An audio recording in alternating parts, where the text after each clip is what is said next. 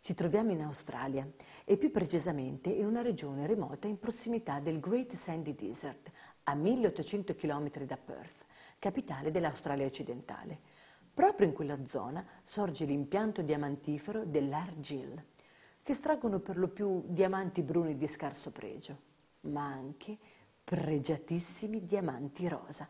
Ma lasciamoli un attimo da parte. Anni 80. Lindsay Roddan ex maestro alimentare di Perth, aveva avuto fortuna come allevatore di cavalli e agente immobiliare. Nell'89 però era sull'oro del fallimento e fu proprio allora che incontra e intreccia una tresca con Lynette Crimmins, 38enne, sposata a Barry Crimmins, capo dei servizi di sorveglianza dell'Argil. In un modo o in un altro, i due amanti si conquistarono la complicità di Barry. Roddan gli disse che doveva solo impadronirsi di diamanti rosa. A piazzarli senza lasciare traccia ci avrebbe pensato lui. Il momento propizio alla follia, come disse in seguito Barry, gli si presentò quando quattro contenitori da litro di gemme rosa grezze gli si posarono sulla scrivania. È consuetudine nelle miniere lavare le gemme in soluzioni acide per togliere quelle scorie che ne deturpano la lucentezza. In quel caso era avvenuto che gli smistatori dell'Argil a Perth avessero rimandato indietro le gemme per un ulteriore lavaggio. Quindi quattro contenitori di gemme rosa grezze avevano viaggiato dall'Argil a Perth e nuovamente da Perth all'Argil. A questo punto i corrieri dovevano prelevarle per portarle nella vicina città di Kununurra, per l'ulteriore lavaggio. E fu proprio allora che i corrieri dimenticarono uno dei contenitori.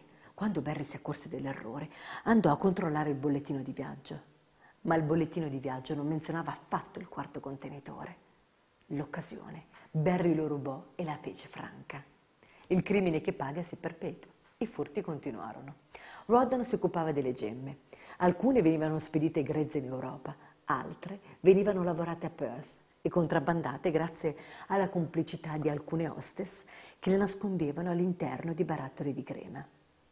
I Crimmins venivano pagati regolarmente da Roddan con cifre che arrivavano ai 10.000 dollari. Quando le gemme fecero la loro comparsa in Europa, i funzionari dell'Argile si convinsero che la miniera veniva depredata. Conoscevano il loro prodotto.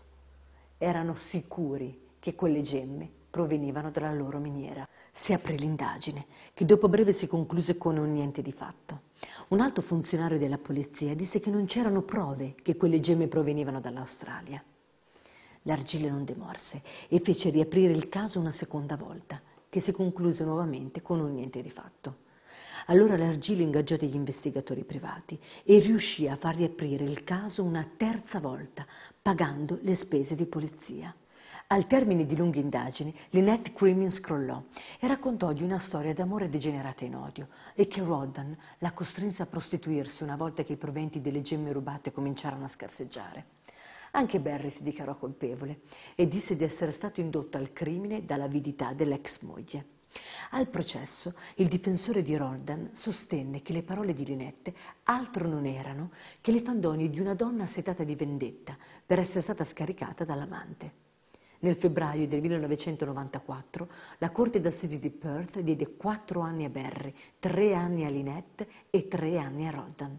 Si stima che furono rubate gemme per un controvalore di 30 milioni di dollari.